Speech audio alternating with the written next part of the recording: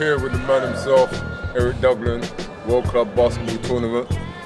I just want to give a little bit of background on how the tournament came to be. Um, the tournament started, started about four years ago. We had um, a four-team tournament with um, Lake Michigan Admirals came over, team from the States.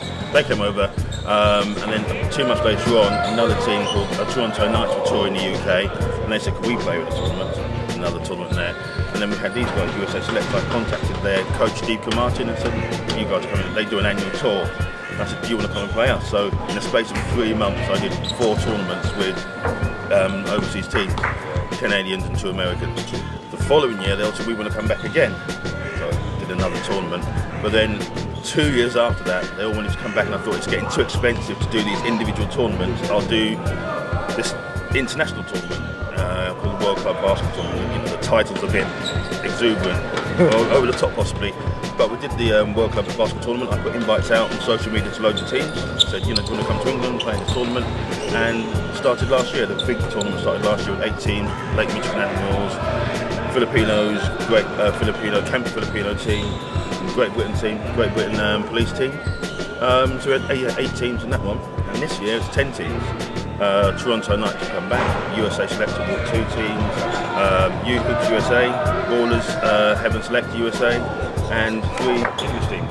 Um, West London uh, Basketball Club, Sussex Elite, and um, Coventry Tornadoes. So it's got big. Know, I've turned away a lot of teams this year as well. I've had teams from Italy and Spain and, um, and Venezuela. And it's got even more internationals. We've got two Dutch referees in there, two Spanish referees, an Italian FIBA coach in there as well, and some other coaches from um, BBL. So it's got international and big.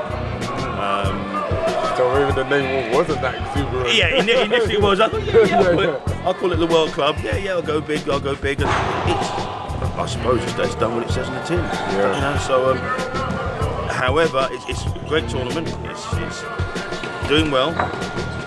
Next year I think I'm moving to London because it's, it's in Hastings, Sussex, where, where, it's okay. But I, I didn't want to go to Crystal Palace and say, well, I'm going to spend thousands to get it all done, and then it falls flat. You know, it's better to start start small, start in the area because I live in Bexhill, which is five miles away from Hastings. I live there, so um, I'll do it in Hastings.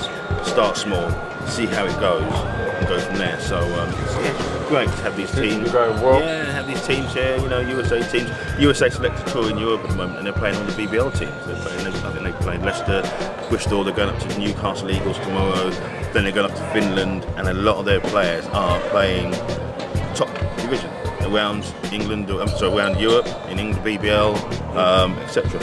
So they're doing well. It's a, it's good standard.